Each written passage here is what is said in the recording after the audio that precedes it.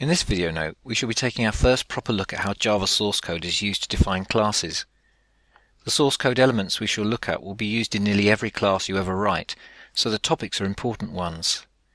For the exploration, we shall be using the Naive Ticket Machine project from Objects First with Java by David Barnes and Michael Kölling. The Ticket Machine class is designed to model the sort of functionality that's commonly found in automated ticket machines in bus stations and subways, for example. To get the most out of this video, you should at least have experimented with that project. In a previous video note, we did the preparatory exploration in order to help us understand the source code we shall be seeing in this one.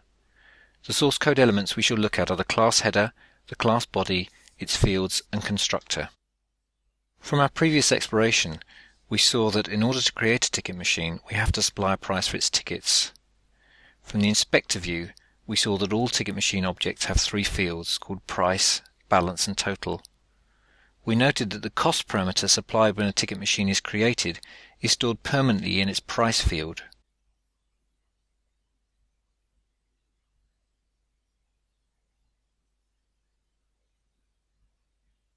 When money is inserted into the machine, it's stored temporarily in the balance field.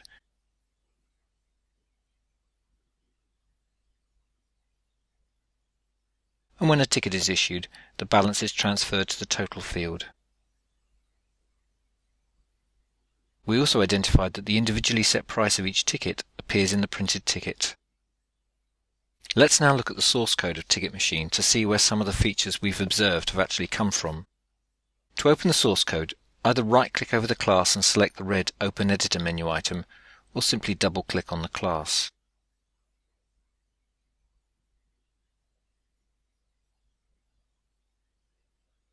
The editor window consists of essentially four areas. At the top are some menu buttons. At the bottom is a blank area that's used by the Java compiler for reporting errors. In the center is the main editing area containing the source code we're interested in. And to the right is an outline navigational view of the file, showing where we currently are viewing in the overall file.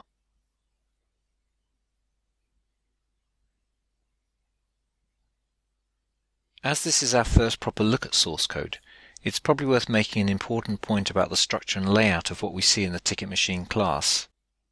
Firstly, like all programming languages, Java has some very strict rules about what may or may not be written in a class definition. In some ways, these are a bit like the rules of natural language. For instance, when writing in English, the rule is that sentences should start with a capital letter and end with a full stop or period, or something equivalent like a question mark. Similarly, in spoken languages, it will be correct to say, I can write Java programs, but incorrect to say, write programs Java I can. However, we all know that those natural language rules get broken all the time, and on the whole we can still understand what people mean even if they get their spelling or grammar slightly wrong. This is not the case with programming languages. The strict rules of Java must not be broken if you want to get your program to run. There is no slack in this principle. It's the job of the Java compiler, notice the compile button at the top of the editor window, to enforce those rules. The Java compiler is stricter with its red pen than any teacher ever was. To help you with this, as we look through the source code in this video note and others, we'll mention some of these strict rules from time to time. In addition to Java's strict rules, there are also some informal rules that programmers often apply when writing Java code. In fact, it's probably more accurate to call these conventions rather than rules. Conventions are something you adopt by choice. The Java compiler will not care about them at all and will not check that you've adhered to them. The kinds of conventions we're talking about here relate to the way in which we lay out or format our source code and the names we choose for variables and methods. You might wonder why we bother with conventions if the compiler doesn't care about them and if breaking them won't affect whether a program runs or not. The primary reason is that adopting these conventions makes code easier to work with, both for you, the person writing it, and just as importantly, others who will read it. Whether that other person is someone giving you a grade on a course, a colleague who's working on the same project, or someone you've shared your code with because it's a great piece of code. So as we look through source code, we'll often mention the conventions that we are using. If you want to take a look at some of those conventions, you can find them documented in the style guide in the Objects First with Java book. The first thing we see at the start of the Ticket Machine source file is a block of explanatory text, this is called a comment. This comment describes the overall purpose of the class. It also says who wrote it. It's a good idea to get into the habit of identifying yourself in code you've authored, and a version identification, in this case a date. Next comes the part that gives the class its name. This is the header of the class. Here is one place where the rules of Java are strict, and those three words, public, class, and ticket machine, must come in exactly that order. Also the words public and class must be written entirely in lowercase letters. You cannot capitalize the P or the C, for instance. If you look at the source code of all classes in this book, you'll see exactly the same pattern in each case. Public, class, class name. So this will also be the case for the classes you write. On the line immediately below the class header is an opening curly bracket or curly brace. This character is used a lot in Java programs. It always marks the start of something. Here it marks the start of the body of the ticket machine class. For every opening curly bracket, there is always a matching closing curly bracket. This is another strict Java rule. Because they are so small, it's easy to miss them out or have one too many, and the Java compiler will always pick up those errors. By convention, we always put the opening curly bracket of the class body on a line of its own, as the first character of the line. If we scroll to the end of the class, we'll find the corresponding closing curly bracket that marks the end of the class. Again, by convention, we place this bracket on a line by itself and right at the left edge of the source file. Everything between those two curly brackets is the body of the class, and the body contains the Java elements that make Ticket Machine objects behave in the way they do. Notice that if we highlight one of the curly brackets, or simply place the cursor next to it, the matching bracket is highlighted in the editor. You will find it extremely useful to know this when it comes to trying to work out why the compiler is complaining about a missing bracket. The first thing inside the body of the class is a section consisting of six lines. It's important to be observant when reading code, so notice that these six lines are made up of three similar pairs. The first line of each pair is a comment that describes the purpose of the second line. A single line comment is introduced by two forward slash characters, after which we can write any commentary we like up to the end of the line. What we are seeing here is the definition of three fields that each ticket machine object has. You'll recall that this is similar to what we saw in the inspector view of the ticket machine object. Notice the text to the left of the value box in the inspector. This text came directly from this section of the source code. Each field definition consists of three components, a visibility, private, a type, int here, short for integer, and a name. The end of each definition is marked by a semicolon character. The Java rules for defining fields are strict, and the order of the elements we see in each definition cannot be changed. The order must be visibility, type, name, and semicolon. Following another widely used convention, the names we've chosen for the three fields all start with a lowercase letter. In fact, the only names we start with an uppercase letter will be class names. Adhering to this convention makes source code easier to read. If a field's name were made up from multiple words, time of day for instance, then we would use camel case and capitalize the O of of and the D of day, but still keep the T of time in lower case. Another convention we've used here is that the section of fields has not been written up directly against the left edge of the editor window. Rather, we've used a little bit of indentation. This is our way of showing that the fields are conceptually inside the class body. The convention is that every time we write an opening curly bracket, what follows is indented by four spaces. The BlueJ editor is already set up to help with this convention, so you'll find that the Tab key indents code, and typing a closing curly bracket moves the indentation back again. Finally, we include a blank line to separate the section of fields from whatever follows. What comes next is another block comment similar in style to the one we saw at the start of the class file. There the comment described what immediately followed, which was the whole class. Here the comment also describes what immediately follows, which is the constructor. The constructor of a class is the part that's responsible for setting up everything properly inside an object when it's being created, so that it's ready to use immediately thereafter. It's the constructor that gets called whenever we right-click over a class in the class diagram and select New Circle new triangle, new ticket machine, and so on. It's impossible to create an object without going via its class's constructor. However, once an object has been created, the constructor plays no further role in its life and cannot be called again on that object. By convention, we place the constructor immediately after the fields. This is not a Java requirement, but it does visually link the fields and constructor together as they are closely associated with one another.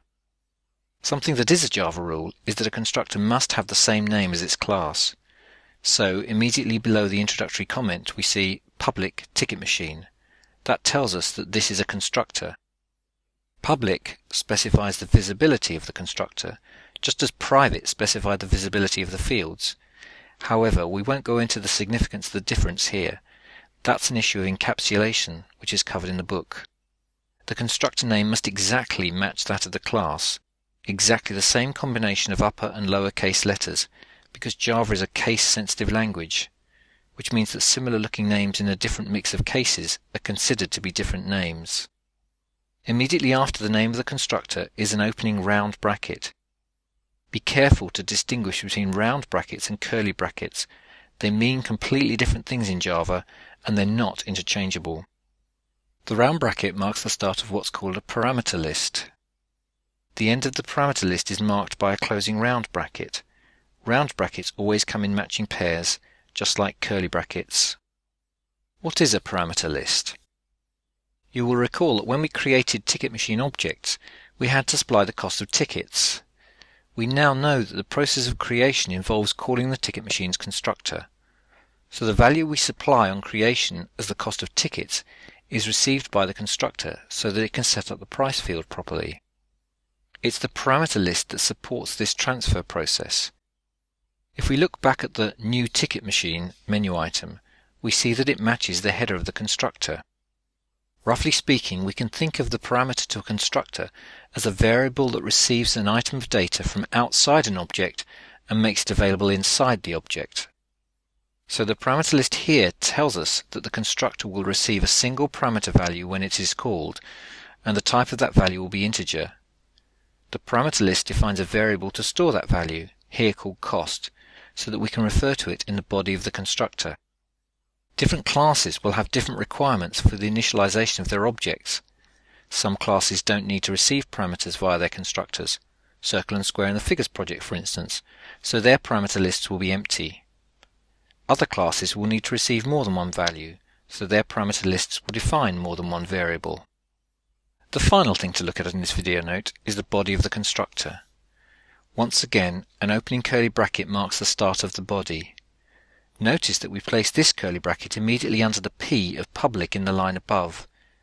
If you look down a few lines, you'll see the matching closing curly bracket and that this is lined up with the opening one. Java's terminology for code enclosed between a pair of curly brackets is a block. Notice too that we've indented the code inside the constructor's body block by four spaces, as we described earlier. The constructor's body contains three statements, one for each of the class's fields. This is a common pattern. In most classes, we should expect to see a very close relationship between the fields and what goes on in the body of its constructor. This is because the constructor's primary role is to ensure that every instance is properly initialized when it is created, and proper initialization necessarily means ensuring that the fields contain sensible values right from the start. Each of the three statements here is called an assignment statement. An assignment statement consists of a variable name, followed by the assignment operator, which in Java is the equal symbol, followed by a value, and terminated by a semicolon. The effect is to copy the value on the right-hand side of the assignment symbol into the variable on the left-hand side. In other words, an assignment statement stores a value into a variable.